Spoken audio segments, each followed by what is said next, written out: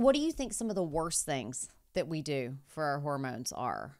I think the worst thing we do overall is pretending that they don't exist or pretending that we don't have a, a different body that is different or you know what I mean? Um, you know, a, a Kate Northrup has a book called um Do Less where she talks about like living your lifestyle. Um, you know, working around your hormonal cycle. And this sounds like, oh, well, you couldn't do that or this. No, that's brilliant.